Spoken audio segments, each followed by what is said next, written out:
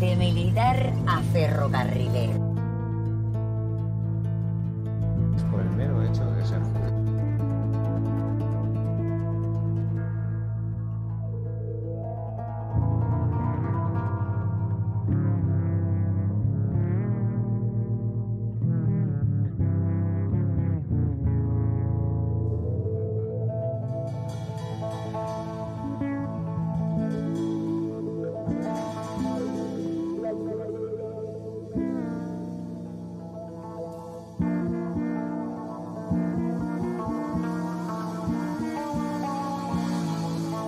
Tengo ganas de llorar todos los días.